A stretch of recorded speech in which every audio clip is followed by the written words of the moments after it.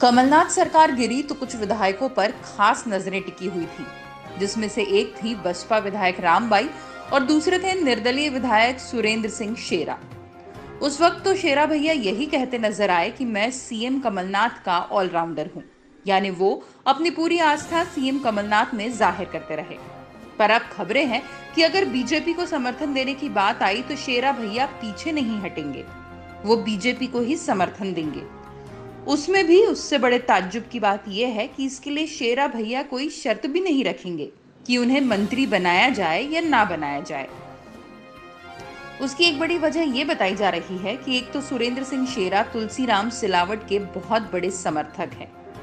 यानी जिधर सिलावट जाएँगे, उसी तरफ़ शेरा भी चल देंगे। और दूसरी बात ये कि वो बुरहानपुर से विधायक हैं, जहाँ की कमान अब नंद कुमार के हाथों में है। और नंद कुमार सिंह माहिर खिलाड़ी हैं जो शेरा को किसी भी तरह बीजेपी से जोड़ने में कामयाब हो ही जाएँगे। अंदर गानों की खबर तो ये भी कहती है कि नंदू भैया की वजह से ही शेरा, अर्चना चिटनिस जैसे विधायक को हराकर चुनाव जीतने में कामयाब हो सके हैं। अब भाई इतने एहसानों का कर्ज शेरा भैया को अपनी वफादारी साबित करके चुकाना ही होगा।